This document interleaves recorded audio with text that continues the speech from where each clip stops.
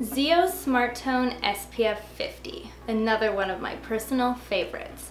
This is an ultra lightweight SPF that has customizable color beads that are designed to blend in with most skin tones.